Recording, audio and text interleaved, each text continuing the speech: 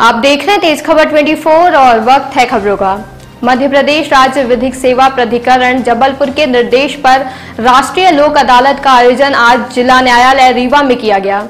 इसके अलावा तहसील स्तर के भी न्यायालयों में लोक अदालत का आयोजन किया गया। आज सुबह साढ़े दस बजे इसका उद्घाटन किया गया।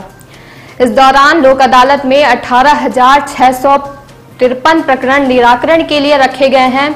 इसके लिए ज़िले भर की 45 खंडपीठ तैयार कर पीठासीन अधिकारी की नियुक्ति कर रखे गए प्रकरणों को लोक अदालत के दौरान तथा प्री लिटिगेशन के प्रकरणों का निराकरण किया गया।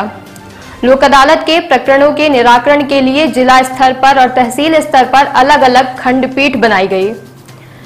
इस संबंध में बताया गया कि कुटुंब न्यायालय में प्रकरणों की सुनवाई जिला एवं स्तर न्यायाधीश आरसी वार्षणे प्रथम खंडपीठ स्वयं करेंगे।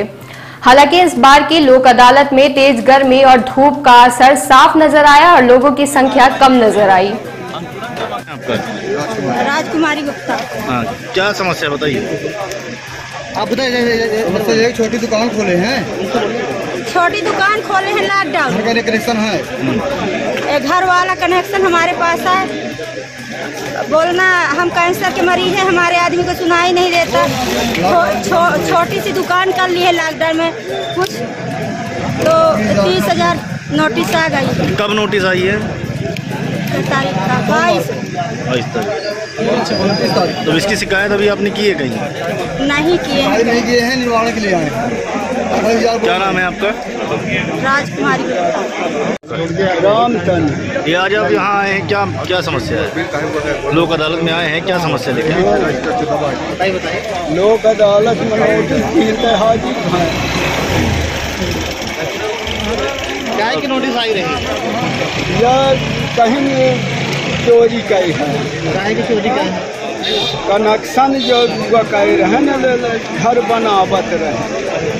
तो लाइट तो के लगाए बिल कनेक्शन घर के कराए वहीं पे घर बना रहा। तो लिख पढ़ के लाई गए बिल सगल देत गए हैं। यहाँ आए तो क्या कहा थे यहाँ आए तो क्या कहा थे यहाँ कही थे कि साहब या हमका नोटिस काहे दे सरकार के हम सगल सभी न्यायालय लोक अदालत का कैंप लगा हुआ है किस तरह के निराकरण किए जा रहे हैं? देखिए, ये जो लोक अदालत है, ये पूर्व क्षेत्र कंपनी अंतर्गत पूरे सभी बीसों जिलों में लोक अदालत चल रही है। हमारे रीवा सेम मतलब रीवा ज़िले में भी, रीवा ब्रज के अंतर्गत ये लोक अदालत है। जिसमें क्या है कि एक हमारे दो टाइप के प्रकरण आते हैं। मतलब प्रकरण तो एक क्या कि कोर्ट के अंदर हो जाते हैं मतलब कोर्ट केस हो जाते हैं और कोर्ट के पहले जो केस रजिस्टर नहीं होते हैं हम उसको प्री लिटिगेशन बोलते हैं और उसमें और जो कोर्ट के अंदर हो जाते हैं कोर्ट के रजिस्टर हो जाते हैं हम उसको लिटिगेशन केसेस बोलते हैं कि कोर्ट केसेस हो गए।